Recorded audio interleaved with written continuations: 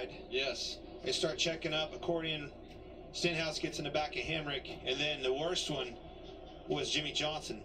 Now I will say, not much damage on that car. He doesn't have a lot of damage, Clint, but if we can get a shot of the, the right front of Jimmie Johnson's car, it's going to come down to how low that splitter is. But you see all these cars check up, and Jimmie Johnson's at the back of the field, and they just check up harder than he expects and just gets into the side of the three as they're trying to avoid the 31.